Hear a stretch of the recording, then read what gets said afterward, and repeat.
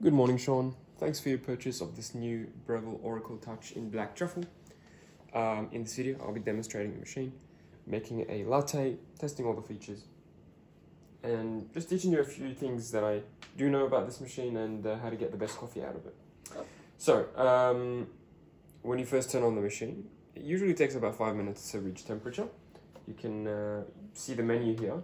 I've brought the brightness down so you can see it on video, uh, but you can, you have the default coffees and you can also create your own. Uh, let's go into the cappuccino. I, I want to make a cappuccino actually to test the froth at its full frothing capabilities. Um, so yeah, usually it takes about five minutes to, to reach the 93 degree set temperature. You'll see the temperature rise up as it heats up. And once you have the green buttons, that means it's ready to go. It is a dual boiler, so you always have both of them available hot water and steam or like coffee and steam um, but there's a uh, option there's an option in the menus to tell this machine to wake up in the morning so that it's ready when you are um, I've told this machine to wake up at 4.30 a.m. Uh, so now it's 5 a.m. and it's nice and hot and ready to go. Um, I'll be using the double basket that comes with your machine. So as you probably would have noticed, um, this machine doesn't have the stock drip tray. Your one is still in the box. I'll be uh, using my own drip tray, my own water tank, my own bean hopper, my own portafilter, and my own milk jug to keep your uh, components nice and clean. Don't want any moisture in, in your in, in your box. And I'm gonna try my best to dry everything and vacuum everything so that the machine arrives to you nice and clean. Um, so that's that's why this is nice nice and shiny compared to yours, which is uh, black. Uh, this is from my used machine. Um, yeah, so using the double basket, I'll be uh, grinding a, uh, grinding at number 10. Um, I'm not too sure if it's the right grind size yet, still yet to, to, to make coffee on it. Uh, but I'm using, I got these last night. Uh, it's the Aldi dark beans, um, roasted look at the side, it has a batch date. If you reverse that, it tells you that this was roasted on the 20th of April, which is just about 10 days ago, 11 days ago. Uh, so this is pretty good. Um, fill the bean hopper with these.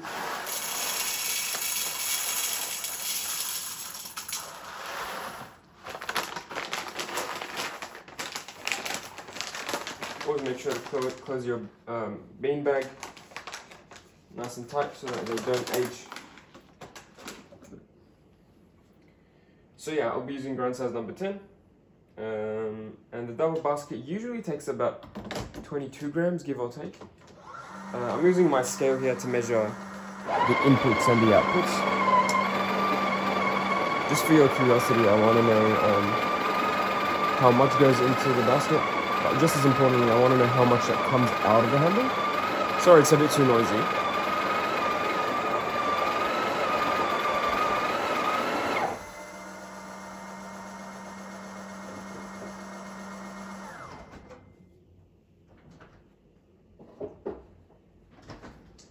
Yep, so um, that's done. Nice and clean temp. There's usually there's a bit of, you know, ground coffee either here on the sides or a bit um, on, on the inside. You can just flip that upside down and most of it will go away. And looks like we got 22.2 grams, perfect. Uh, so that's about standard what I see on these oracles. They usually uh, tamp it pretty, pretty tightly and pack a lot of coffee in there. Um, uh, just as important as the input, we want to measure the output. So I'm also going to use the scale for the espresso. Uh, weight, or like amount, we want a 2 to 1 ratio. So for every gram we put in, we want 2 grams out. We put in 22, we want 44. So if I get anything between 40 and 50, I'll be happy. If it's outside that range, um, it could be over that 50 gram mark, or it could be less than that 40 gram mark. If it's over, so the, the machine will brew for, for 30 seconds if we choose the double, 30 seconds, that's fixed. If in the 30 seconds we get, say, 60 or 70 grams of coffee or more, uh, that tells us that the grind size is too large and we need to grind finer to slow it down and reduce that quantity in the 30 seconds brew time. If we get a very little amount of coffee, so say instead of 45 we get I don't know, 20, 30. Uh, that's under the 40 grams that we were aiming for. Um, so in that case, we need to grind a bit larger to, um, to give it more flow speed. Think of the grind size as a flow speed. So a smaller number means a slower flow and a smaller quantity in the end. Um, I'm also going to use I'll show you the hot, with the hot water tap. Uh, you can do like long black, long black coffees without having to move your cup, which is pretty nice. Um, and on the milk side, you can select the temperature and the froth level. We'll put the temperature at 60, which is what I like it at. And the froth, let's put it on the maximum to see what it's capable of. And I'm just gonna add some uh, syrup to my sugar. So before your espresso, it's recommended to, if you like sugar or sweetener or any flavoring, to add them beforehand so that they mix nicely as the espresso is brewed.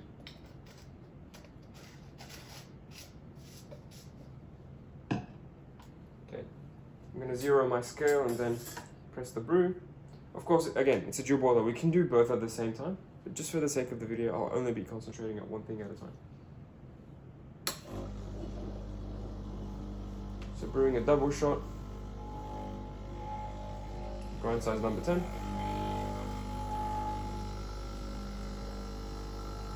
Okay, looks like we are choking our machine.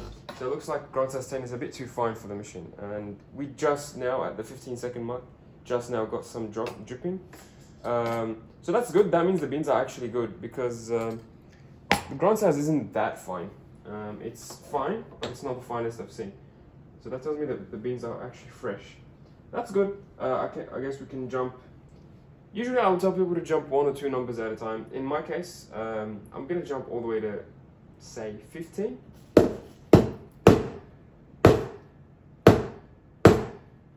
There we go. I'm to jump all the way to 15 because, yeah, it's we don't have the time to do one number at a time. Plus, I think it's way too fine to the point that jumping one or two won't make a difference one or two numbers won't make a huge difference. So we want to sort of leapfrog. Um, and two things about the grind size. Firstly, I would highly recommend you only change the grind size with the grinder grinding. Um, you don't want to do any damage to the burrs, um, especially if you're going finer in grind size. In if the, if the burrs aren't moving and it's not grinding, uh, they just smash each other and there's beans in between them and uh, that puts a lot of stress on the mechanism. So start grinding, wait for it to grind, uh, and then go.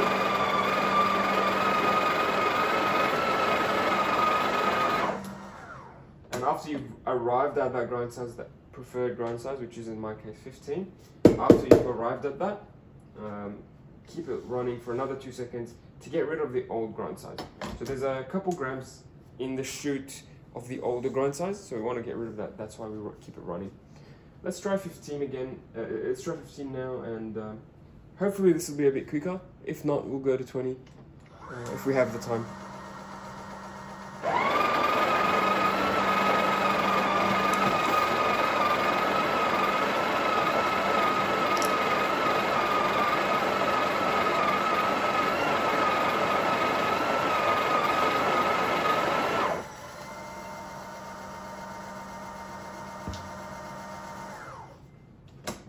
Size 15. Looks a little bit coarser, nothing drastic. Um, about 21 and a half.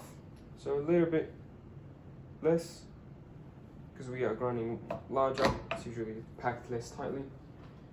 Uh, let's give it another go. Hopefully this time's better. If not, we'll go all the way to 20, which is fine. This is part of the trial and error process that almost every coffee machine goes through.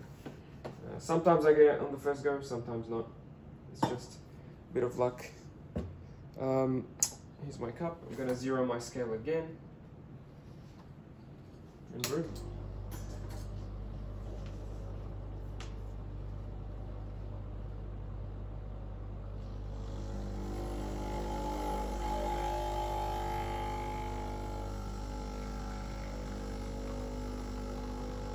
That's a little bit better. So this is going size 15. Looks like it's flowing at the right speed. Looks like it's got enough crema. Tell me that it's a fresh bean. And it stopped at 30 seconds. Perfect. There we go. Um, let's have a look. This is 40.1. 40.1 grams. Pretty good. I was aiming for 45 and we got, you know, between the 40 to 50. Sorry about the mess. It's, uh, it's a bit of a mess around the kitchen here, but uh, yeah, here is the coffee. Looks good. If my phone can focus on it, there we go. Yeah, so you don't have to use a scale, especially as a it's, as it's an automated machine. Um, you can just eyeball most of it, but at least now I can give you the machine with settings that are in the ballpark at least for what espresso should be. Just focus a little bit. There we go. Um, yeah, that's decent, I would say. Uh, if your bean is fresher than this, you may have to go finer. Sorry, larger, uh, because fresh beans have more pressure in them. If you get the bean and it's been more than a month since roasting, it, you may need to go a little bit finer. But look, uh, as long as it's roughly 40 to 50 grams, if you can judge it by eye, then I think uh, probably won't notice a difference between you know 40 and 45. Um, unless you're highly experienced. Uh, and you won't notice it, especially if you add, you know, milk and water and flavors to your coffee. And next I'll be doing the flush. I do this with every machine, I highly recommend it. So instead of going all the way to the sink and rinsing the portafilter, I just do a few seconds of brewing. That's gonna clean your portafilter and your shower screen in one go. And if you wanna be extra nice to your machine, grab a tissue or a brush that's, that's included in your machine and wipe the shower screen. So there's almost always a bit of coffee grounds even after you've flushed. There's a few granules, a, bit of oil from the coffee or just espresso uh, really. Um, you can scavenge with, uh, with, with, a, with, a, brush or a tissue. Um, and after, after this video I'll dry the machine thoroughly. Don't stress about that. Next, we will do the milk. So um, I like to purge just a, a, second or so to get rid of any um, condensed steam inside. Then the milk jug goes like that. So yeah, this is the maximum froth level at 60 degrees Celsius.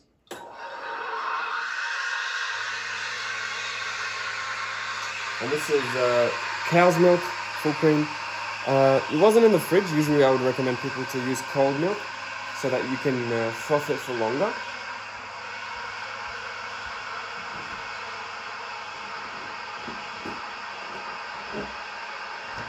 But it shouldn't be too bad.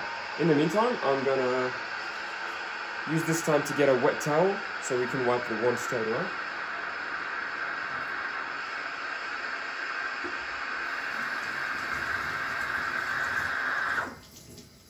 all done.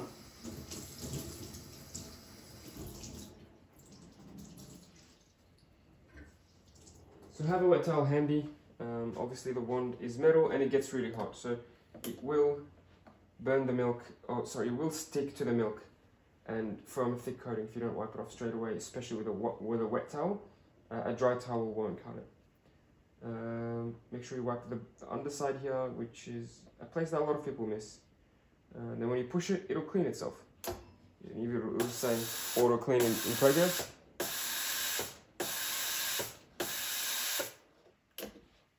All done. And it wouldn't hurt to wipe it one more time. Just for good measure.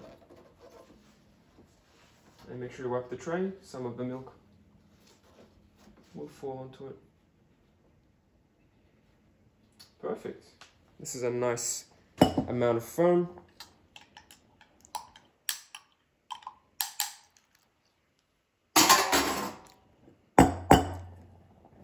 So grab your jug, knock it on the counter if you have any big air bubbles.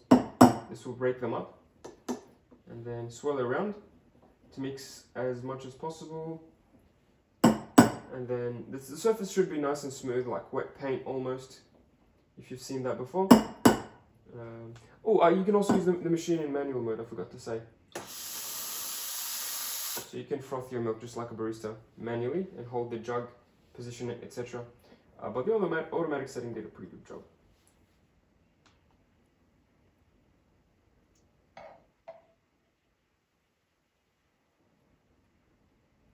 It's a cappuccino texture. It's not going to be thin enough to do any latte art. Again, it's a lot of foam. It's about two centimeters thick. I can see, uh, maybe more. Um, quickly show you. Not that it's a beauty to behold, but it looks delicious at least. Um, and yeah, I'm sure you can make even better coffees like that than that. Um, and yeah, machine works great, no problems at all. Uh, looks great, works great. Hope you enjoy. If you have any questions or concerns, please don't hesitate. And uh, I'm sure you'll get your machine later this week, just in time for the weekend. And yeah, any questions, please don't hesitate. And uh, thanks again.